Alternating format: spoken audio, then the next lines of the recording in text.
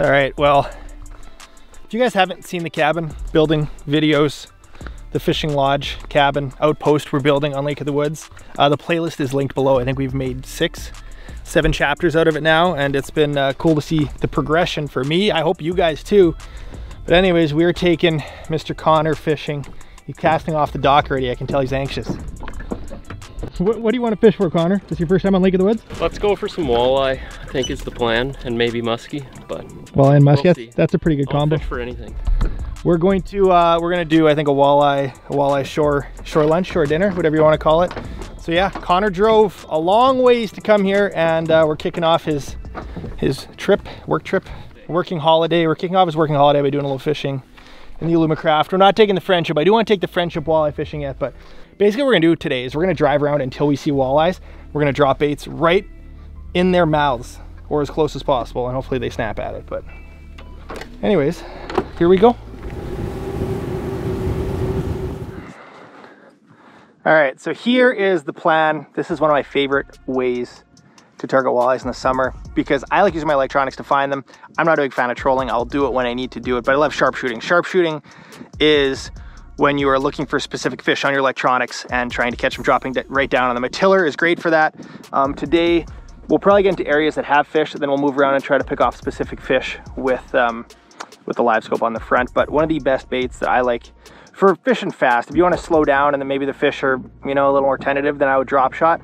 But a Jigging Rap style bait is, it's just amazing. I, I don't know what part of it. I think it's just the, how erratic it is that triggers big fish, but it's a good way to trigger big fish and small fish. It's amazing the small fish you'll catch on these things as well, and they drop so fast. So it's just a good way. If you mark fish, I don't think there's a bait you can get in their face faster than this. As mentioned, we got Connor along, his first time on Lake of the Woods. So we're gonna show him some, uh, show him some walleyes, show him some shore lunch, and just show him a good time in the sun. We got amazing weather, and we've caught a couple fish before we set up the cameras.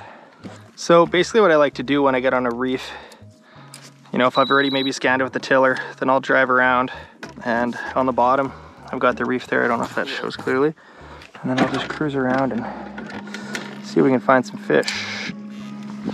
Might be some fish in there. So that, yeah, like whichever way I'm turning the head, Right.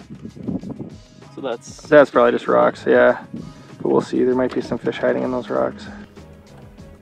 I saw a little bit of flickering around that boulder right there.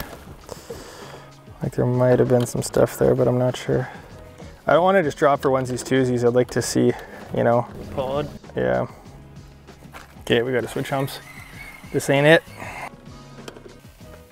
Ooh. Okay, there's fish right under us right now. We should drop on these, but it looks like there's more in front of us too.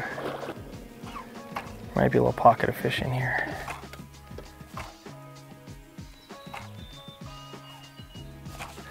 There we go. It's little. The old sauger. The old beer batter sauger.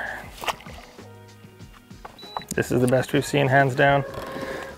I don't think they're 30 inches, but there are fish all around us. Just waiting for Connor to hook one.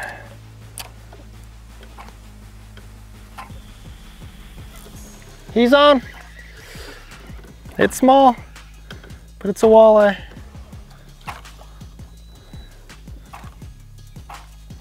We'll catch, bigger yet. I was hoping.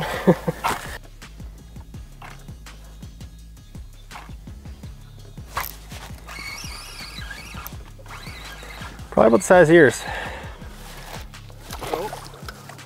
That would have been dinner. So these Jigging Raps, you know, a lot of people are used to fishing them vertically. You can definitely cast them away from the boat and snap them back. It's a slightly different presentation. Fish has to be chasing a little bit faster to get at it, but just in general, this is such a reaction baits. Fish have to be just ready to snap at it. They don't have time to stare at it too long. It rips by their face and so often they'll pin it to the bottom. You'll go in your upstroke and smack it. Look, you can see that fish just darting down at you. Isn't that cool? Ooh, I saw more fish out there. I'm gonna bump us just a little bit out there. Look at all those fish. This is, oh, you can see bait up top and then you're seeing fish, fish, fish, fish, fish. So I'm gonna spot lock when we're kind of right in the center of the school. Yep. Okay, it might kick us backwards a bit, but you can drop down already. There's some, they're not all super tiny.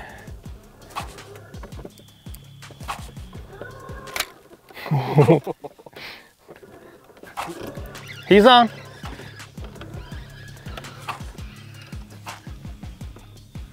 All right, still not, still not what he came to Lake of the Woods for.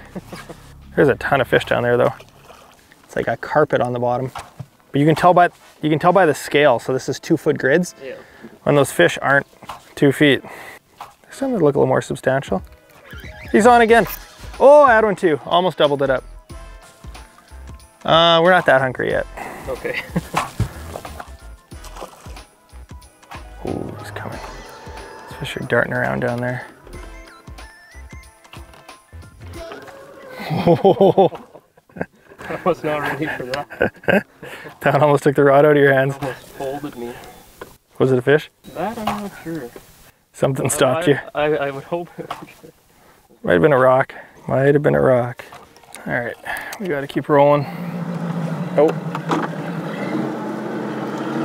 There was a little pod there, but I don't know. Yeah, I tried dropping down here.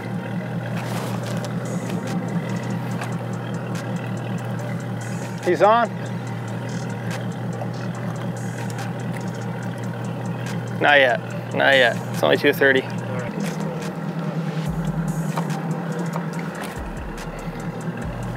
There we go. It is small, but it might be dinner unless it's hooked on the side. Oh, we're keeping that. Not gonna get too uh, too particular at this point. One's got loins. I mean, like there's fish around, but I just don't know how many are that size. Oh man.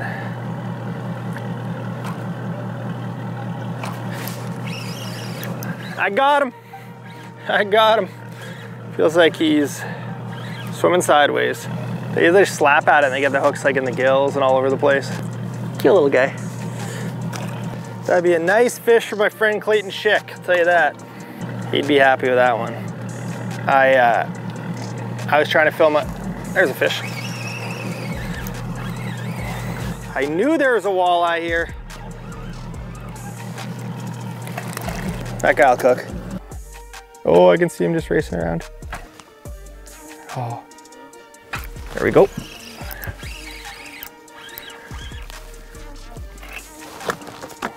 Well, we'll catch bigger than that. Okay, so the boat will swing, but you can drop down here. We're on him. Snap, snap, on. Woo-hoo-hoo! He's got a little one, folks. That one should probably be dinner. Go in the well. Yeah, I think so. I don't think we can be too, uh, we've been struggling a little bit.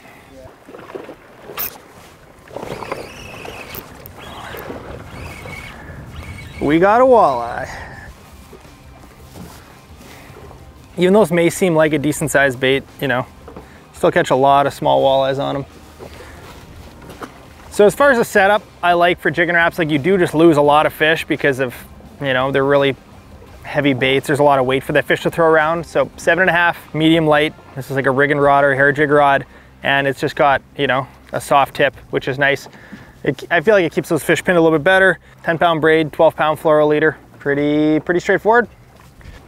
There's fish slithering around there still. There you go. Putting a bend in the rod more than the other ones. Yeah, a little more than the other one. Barely hooked. But he gets it. Well, Connor drove 18 hours for this one fish. Hold it real close. Yeah, it. That is gonna sustain him for the next three days on the island as he's wiring in our cabin.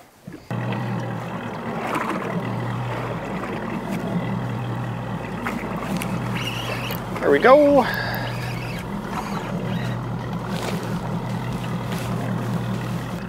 We need to feed him for the week. We don't know how long it's gonna take actually.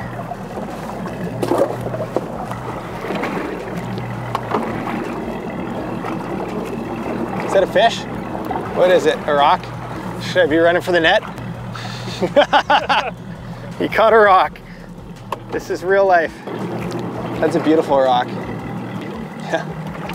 Beautiful. Swam away. Right back down to the bottom. There, I saw that guy just charge down at it. That's more like it. Well, that guy is not going back. That guy is gonna be catch cook beer batter. And beer batter is kind of your typical fish and chips. When you think like English style fish and chips, the type of coating you would have, wow, that fish was not getting off, is a beer batter style. And you don't have to use beer.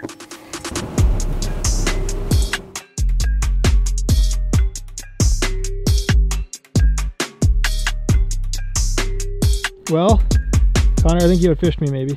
I don't know about that. It was close. I didn't Hard to say. I didn't give you the best Lake of the Woods uh, first experience. It's all right. We caught fish. We did catch fish. Um, yeah, I, I don't have any excuse. Just just couldn't find walleyes. We drove and drove and drove. Maybe we spent too much time looking around deep. We focused on like 25 to 30 foot rocky points. And, I mean, we did fine. Like we got, I don't know, seven. We kept seven. We're gonna eat probably three for dinner tonight, and then we'll keep a couple for him. So he's got food on the property. But I mean, whatever. No, can't complain. The weather was amazing. But uh, now I want to show you guys how to make Beer batter. some beer batter, walleyes, because we got a sale going on right now. And if you want to buy beer batter, this is the cheapest it's going to be probably all summer. So beer batter, this company's called Catch and Cook. If you haven't heard of Catch and Cook, um, it's a company my buddy Josh and I started. And uh, people ask me, how can I support the channel? I don't have a Patreon account. I don't have a membership thing. You can buy Catch and Cook. It supports me, my wife, my baby, and Josh's family. There's, there's, that's it. We're, we're the only ones involved with it. It's our baby and it's been a lot of fun. And we are soon gonna be entering the USA retail space. Right now you can order online, that's where it's on sale. And um, anyways, we're gonna show you how to make it. First off, I'm going to cut up some walleyes, which if you don't know how to cut up walleyes, you can find a how-to video online. I might shoot one one day.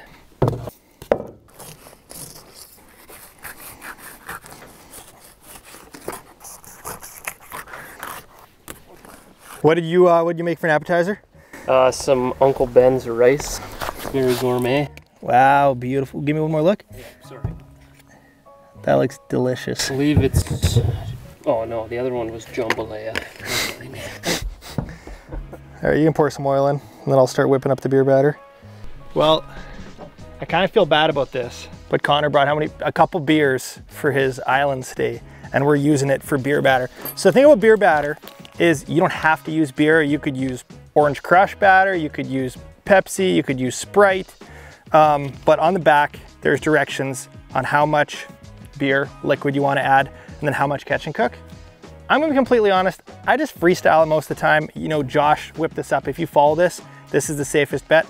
I'm gonna kind of eyeball it. So basically, I'm gonna put some Catch and Cook in a bag, I'm gonna pour some beer in, I'm just gonna keep stirring it, and I want the right consistency, and that could be, you know, something you figure out exactly what you like over time, but I, I want it to be a nice, thick, crunchy, you know, fish and chip style batter. So anyways, we're gonna put some Catch and Cook in a bag here.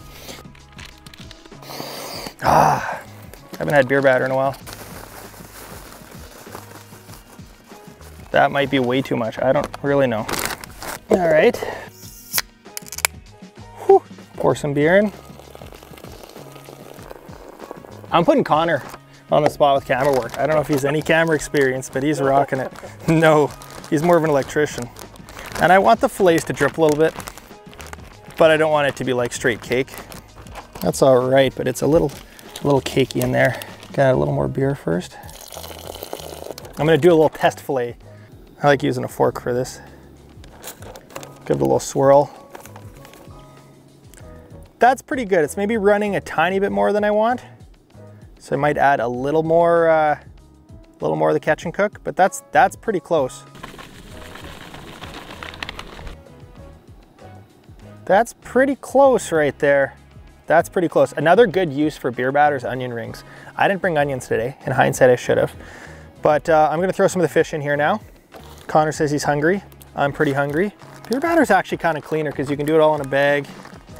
It all stays kind of contained and then it goes from the bag, you know, straight into the oil. And then as far as temp goes, I, I wanna get it to like high 300s.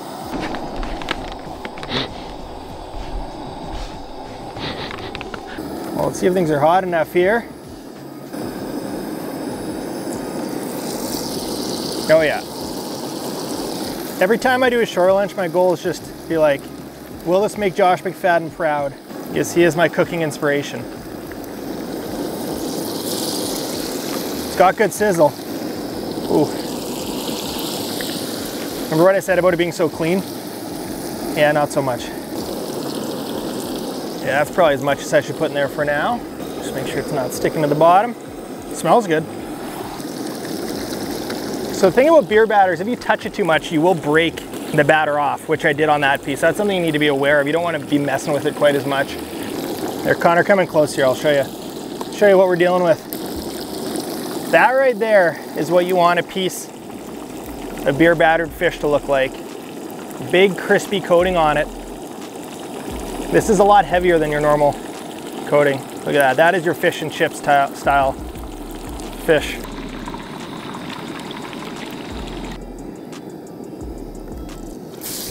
Oh, ooh, did that hurt? Oh, it fell off the fork. Yeah, I'm all right. Wow, did you guys see that?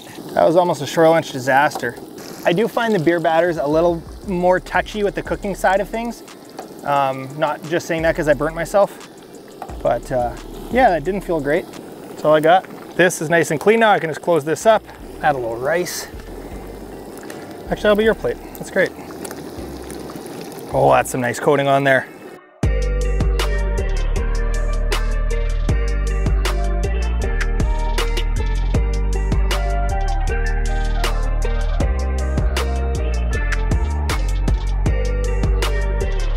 Tell me it's good. How's, how's the fish, Connor? It's oh, it's just so good. it is. Just look at that. That looks good. Like I said, it's a little tougher to keep the coating on. I, I mean, I, I'm still working on it. Josh would do this no problem, but we got fresh walleyes, got some rice, and we got a pretty sweet location to eat it at.